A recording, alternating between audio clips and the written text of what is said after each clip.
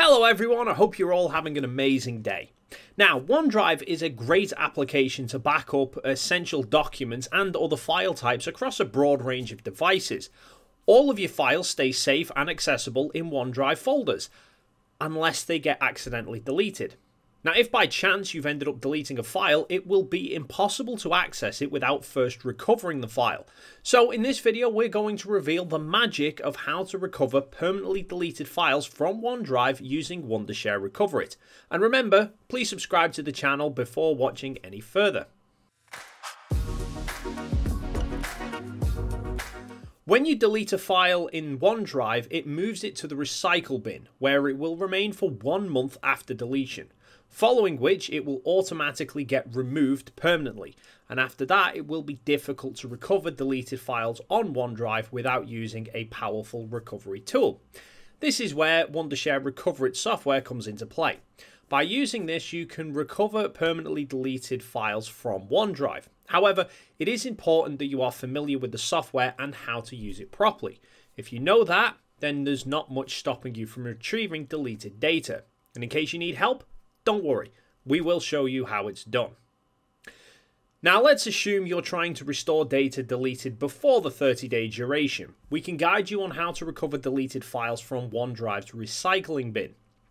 Open any browser on your PC and visit OneDrive, then sign in with your Microsoft account.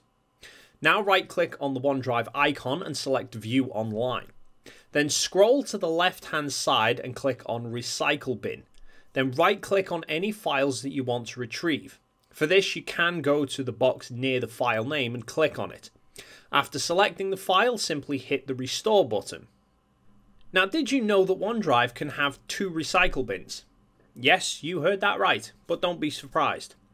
To understand this, let's begin with the fact that deleted files on OneDrive stay for 30 days in the recycle bin. For certain OneDrive accounts, after this one month period ends, the files will shift to a second stage recycling bin. And if you are the account's site coordination administrator, you will have access to this second stage recycling bin. So go to the recycle bin option and at the bottom you will find second stage recycle bin. Click on this to view all permanently deleted files. Then select which ones you want to recover and right click on them to get the restore button. Now, you can not only recover files from OneDrive's recycling bin, but your own computer has a local synced copy of your OneDrive folder. So when you remove files from OneDrive, your computer will move the local copy to your computer's recycling bin on your Windows system, or the trash folder if you're on a Mac. For Windows users, run the recycling bin on your system and then select all files that you want to restore. Right click on any of them and you will get an option to hit the restore button. And with the fact that your computer keeps local copies of these files, it means if you've ever lost the files from OneDrive and they aren't in your computer's recycling bin, then you can use data recovery software to find them. And Recoverit is the ideal solution that helps in meeting your file recovery needs. It can recover deleted files from different kinds of storage devices in much less time and effort.